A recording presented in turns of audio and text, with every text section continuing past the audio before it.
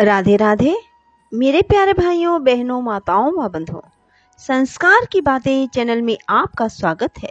बंधुओं, आज मैं अपनी वीडियो में आपको बताने जा रही हूँ पुत्रदा एकादशी व्रत कब किया जाएगा और किस विधि से इस व्रत को करें कि मनुष्य की सभी मनोकामनाएँ शीघ्र अतिशीघ्र पूरी हो जाएँ। और जिनके यहाँ संतान नहीं है, उन्हें संतान की प्राप्ति हो। बंधुओं, पुत्रदा एकादशी का व्रत एक साल में दो बार आता है। एक व्रत पोष पुत्रदा एकादशी का होता है और दूसरा व्रत सावन माह के शुक्ल पक्ष की एकादशी को किया जाता है। इस वर्ष सावन माह की पुत्रदा एकादशी का व्रत 27 अगस्त रविवार के दिन किया जाएगा। बंधुओं, पुत्रदा एकादशी व्रत का शास्त्रों में बहुत अधिक महत्व बताया गया है। इस व्रत को करने से भगवान विष्णु की विशेष कृपा प्राप्त होती है और साधक की सभी मनोकामनाएँ शीघ्र, अतिशीघ्र पूरी हो जाती हैं। बंधुओं, अब मैं आपको पुत्रदा एकादशी का महत्व बताऊँगी। शास्त्रों के अनुसार इस व्रत को करने से संतान सुख की प्राप्ति होती है। पुत्रदा एकादशी व्रत रखने से मनुष्य को सभी भौतिक सुखों की प्राप्ति होती है। साथ ही उनके लिए मोक्ष के द्वार खुल जाते हैं। यह व्रत रखने से सभी पापों का नाश होता है और कई प्रकार के ग्रह दोष भी दूर होते हैं। साथ ही दाम्पत्य जीवन भी खुशहाल होता है, जो पुत्रदा एकाशी व्रत को करते हैं।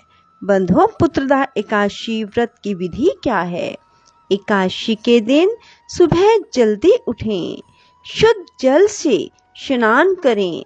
स्नान में गंगा जल का इस्तेमाल अवश्य करें और साथ ही कुछ काले तिल नहाने के जल में अवश्य डालें। साफ़ सुथरे वस्त्र पहने पूजा घर को स्वच्छ बनाएँ। इसके बाद भगवान विष्णु के समक्ष दाहिने हाथ में जल और फूल लेकर व्रत का संकल्प करें। फिर भगवान की षोडश उपचार पूजा करें। सारा दिन भगवान विष्णु के नाम जाप में बिताएँ।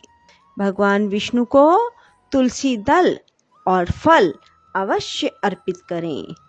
रात को भगवान के समक्ष शुद्ध देसी घी का दीपक जलाएँ और पूरी रात जागरण करें। अगले दिन प्रातःकाल स्नान आदि से निवृत्त होकर भगवान की पूजा करें और किसी ब्राह्मण को भोजन कराएँ और उसके बाद ही व्रत का पारण करें। बंधुओं, पुत्रदा एकादशी व्रत का पारण 28 अगस्त सोमवार को किया जाएगा। बंधुओं इस बार पुत्रदा एकादशी के दिन सर्वात सिद्धि योग बन रहा है। ऐसे में मंदिर जाकर श्री हरि और हर की आराधना की जा सकती है। साथ ही भगवान से अनजाने में हुई भूल के लिए क्षमा मांगे। बंधुओं, पंचांग के अनुसार सावन माह के शुक्ल पक्ष की एकादशी तिथि की शुरुआत 27 अगस्त 2023 प्रातः बारह बजकर आठ मिनट पर होगी। वहीं इसका समापन रात्रि नौ बजकर बत्तीस मिनट पर होगा।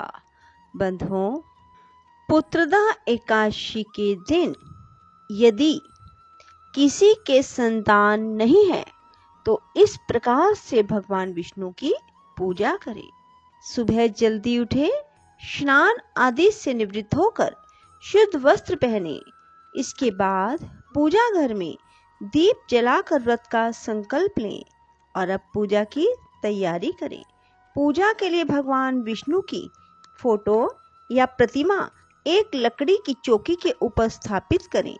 चौकी में पीले रंग का कपड़ा बिछा लें। अब भगवान को हल्दी और चंदन का तिलक करें। फिर फल, फूल, नैवेद्य आदि अर्पित कर भोग चढ़ाएँ। पूजा में तुलसी और तिल भी ज़रूर अर्पित करें। इसके बाद दीप और धूप जलाएँ और पुत्रदा एकादशी की व्रत कथा पढ़े। इस दिन विष्णु सहस्त्र नाम का पाठ करना भी बहुत लाभकारी होता है। अब भगवान विष्णु की आरती करें। इस तरह विधि विधान से किए पूजा से भगवान विष्णु प्रसन्न होते हैं और आपको आशीर्वाद देंगे। पुत्रदा एकादशी व्रत करने से मनुष्य के सभी पाप कर्म मिट जाते हैं। बंधुओं, पुत्रदा एकादशी के दिन इन उपायों को अवश्य करें। संतान प्राप्ति की कामना के लिए पुत्रदा एकादशी के दिन भगवान श्री कृष्ण के बाल रूप का पूजन करें।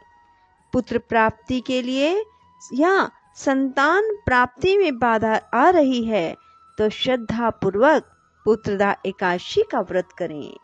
यदि आप पुत्रदा एकादशी का व्रत निर्जल कर सकते हैं तो आपको गुणवान संतान की प्राप्ति होगी। बंधुओं, पुत्र प्राप्ति के लिए सावन पुत्रदा एकादशी पर भगवान को पूजा में हलवे का भोग लगाएँ और ओम देव की सुत, गोविंद, वासुदेव, जगतपते, देही में तन्यम, कृष्ण त्वामहम शरणम।